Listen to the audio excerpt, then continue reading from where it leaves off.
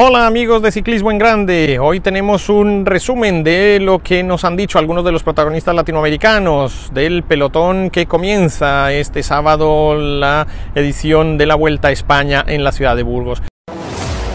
Ciclismo en Grande regresa con las mejores transmisiones. A partir del 13 de agosto, el Tour del Avenir. Y a partir del sábado 14 de agosto, la Vuelta a España. Vívelo con Rubencho, Hernán Coral, Lucho Escobar, Nieves Moya, Chemo Quirós, Edgar Pegatina Montoya, Julio Vaca. y los profesores Luis Fernando Saldarriaga y Ángel Yesid Camargo. Te esperamos para seguir creciendo. Ciclismo en Grande. Tenemos a David Andrés Camargo, a Sebastián Molano, a Superman López, también a Richard Carapaz y por supuesto al gran Egan Bernal. Esto es lo que nos han dicho. Richard Carapaz, campeón olímpico, ¿cómo suena eso, venir a la, a la Vuelta a España con semejante título? Sí, bueno, no, para mí la verdad que es un orgullo, ¿no? Sobre todo llevar este, portar, ¿no? El dorado, esto en estas competencias para mí pues es vital, ¿no? Y sobre todo muy, muy emocionado. ¿Cómo ha sido la recuperación? Porque hiciste el tour, luego vas a los olímpicos, poco tiempo para recuperar.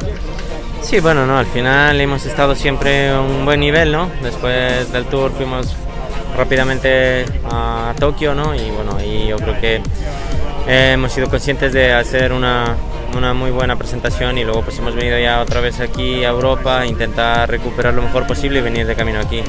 Así que nada, pensamos siempre en hacer una, una buena presentación. El último año estuve muy cerca, ¿no? Y bueno, este año pues intentar hacer lo mejor posible también. Richard, este año venís con un equipo enormemente poderoso, mezcla de juventud y veteranía, con Pinto, con Egan, contigo. Eh, dijiste esta mañana que un objetivo es una etapa, pero también la general, supongo, para el Sí, bueno, no, al final mira, tenemos opciones y bueno, no, yo dentro de lo personal pues me he marcado eso, ¿no? De ganar una etapa.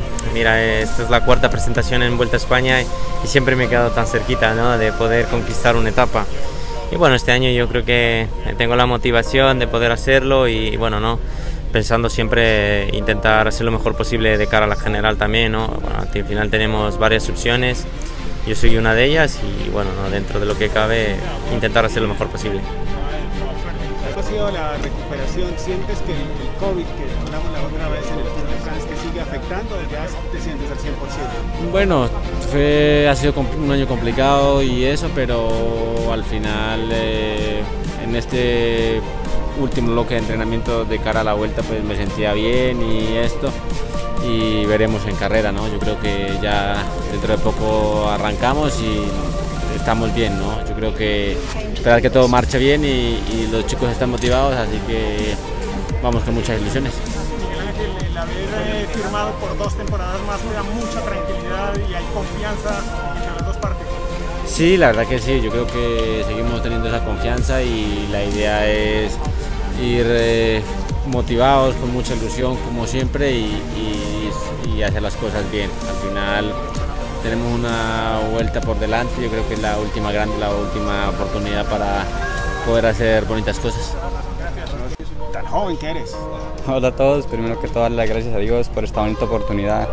Un sueño más que, que se me está haciendo realidad, estar en una grande. Y nada, vamos a dar lo mejor y a disfrutarnos del día a día. Agradecerle a toda la- mi familia, a cada una de las personas que me ha apoyado siempre. Y nada, vamos a dar lo mejor y a disfrutar. ¿Cuál es tu objetivo aquí en la Vuelta de los objetivos del equipo?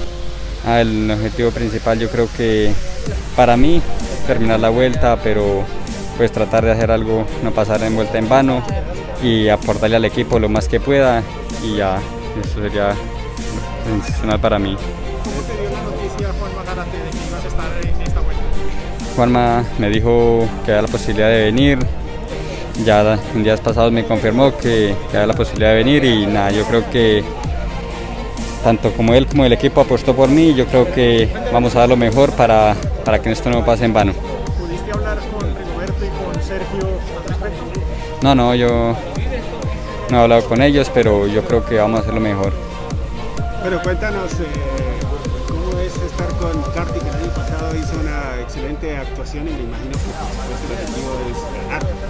Sí, yo creo que hay un gran corredor, el cual yo creo que se siente muy bien y nada, vamos a trabajar todos en conjunto para él como un equipo bien unidos y, y apostar todo por él. ¿Tendrás posibilidad de luchar por una etapa que nos llenaría de ilusión? Y pues vamos a ver el día a día, pero yo pues el- mi ilusión es ganar etapa, vamos a ver qué, qué nos trae la vida y a disfrutar el día a día. Eso, eso está lo campeón, gracias. Gracias. Eh, bueno, muy bien, creo que estoy bien. Eh,